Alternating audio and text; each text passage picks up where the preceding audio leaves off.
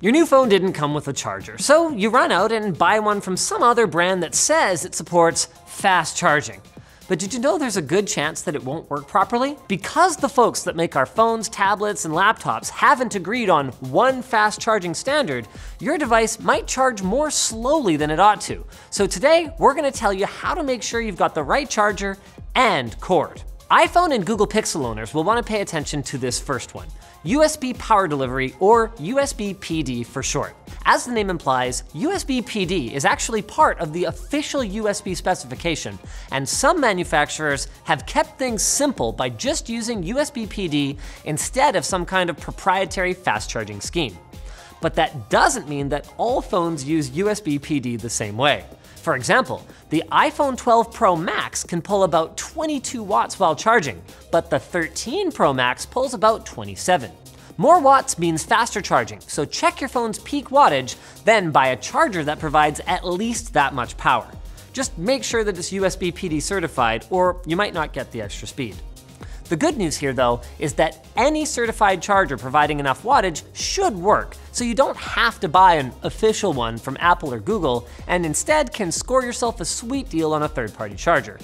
Oh, and don't forget about the cable itself. A modern, made-to-spec USB-C to USB-C cable should carry at least 60 watts. But again, double check to ensure it actually meets that USB PD standard. USB PD also supports up to 100 watts for larger devices like laptops, and a 240 watt variant is on the way soon. So it's a great one charger to rule them all solution if you have compatible devices across different brands. Qualcomm's Quick Charge is the next fast charging standard we're going to talk about, and despite the fact that the San Diego Chargers no longer play at Qualcomm Stadium in a brutal twist of irony, Quick Charge is still a very widespread protocol used in phones from Samsung, Razer, Asus, Sony, Nokia, and LG, if you're still rocking one of those collectibles. But just how good is Quick Charge? We're gonna tell you right after we thank Govee for sponsoring today's video. Govee's immersion kit combines their LED TV backlights with two smart light bars for full reactive ambient lightings.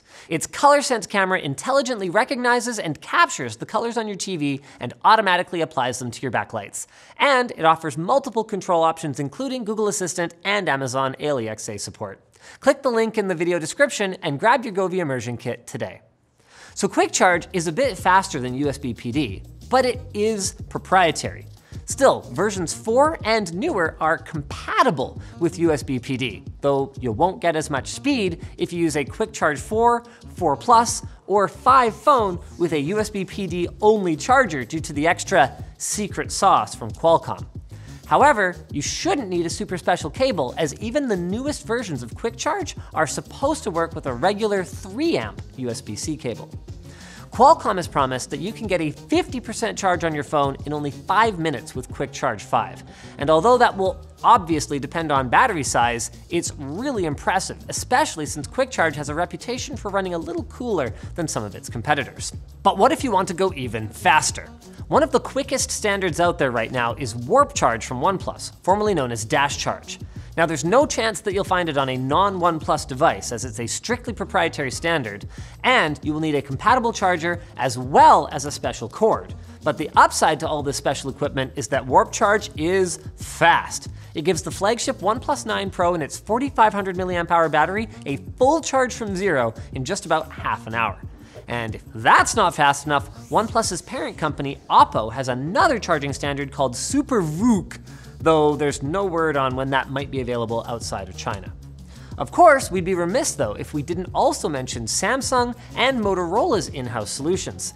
Samsung's are called adaptive fast charging and the newer super fast charging and are only for Galaxy devices. The former maxes out at 18 watts and the latter is at 45 watts, so it's quick, but with the way it's currently implemented, it's not gonna give the full 60 plus watts that USB PD would, even though super fast charging is compatible with the USB PD standard. If you want the highest speed super fast charging has to offer, you'll need a certified charger and a cable as it uses a relatively high 5 amps of current.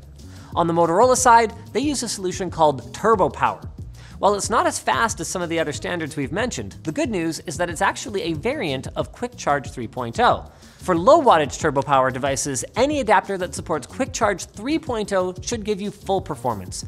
Though if you're using the higher wattage versions, make sure you've got a charger that supports Quick Charge 4 Plus or higher. Hopefully now you'll have a better idea of what you'll need to keep your phone powered up in a pinch, or you can just disregard everything I said and stop forgetting to plug it in before you go to sleep, because then you wouldn't need to quick charge. Thanks for watching, like, dislike, check out our other videos, and don't forget to subscribe and follow.